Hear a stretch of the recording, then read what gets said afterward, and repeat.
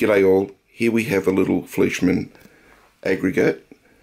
Unfortunately it uh, has the pox, um, commonly called zinc pest or zinc rot, where the, uh, the zinc starts to crumble on these uh, around the flywheel. Um, I made up a stained mahogany base for this one, but what's it, what I'll show you what I've done with this. You can just, hopefully the camera picks it up. You can see the crack starting there on the flywheel there. Right around, cracks, more cracks, cracks, cracks. You can see that goes right across from side to side. Bad one. And on the side, you'll see like it's absolutely it's like coming apart in here. This this camera. Hopefully that's about there. Just move the light down. So there's a bad crack right through. Another bad crack where it's like it's delaminating. What I've done I read a few years ago. Oh here's another really bad one. I've filled this up in here, cracks there as well on the spoke. What I've done, I've coated this multiple times with a very strong super glue. Probably did it, I think, about 2017 I did this.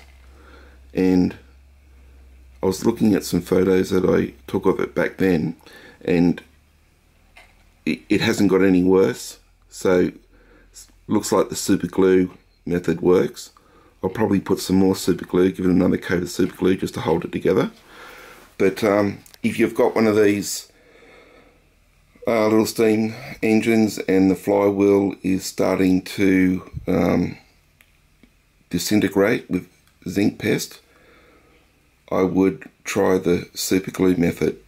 Just soak it as much as you can, try and get it into all those cracks and crevices. Uh, as you can see like that one there is right from one side to the other. And I think if the if I hadn't done the super glue method I think this would have let go by now. But anyway I'm going to have a run with this. I'm not going to put steam through it. I've just got it connected to the air compressor.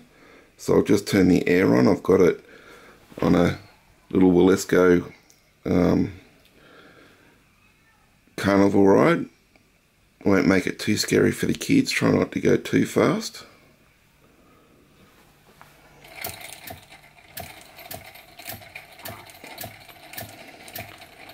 Try a little bit faster than that. I think they can handle it.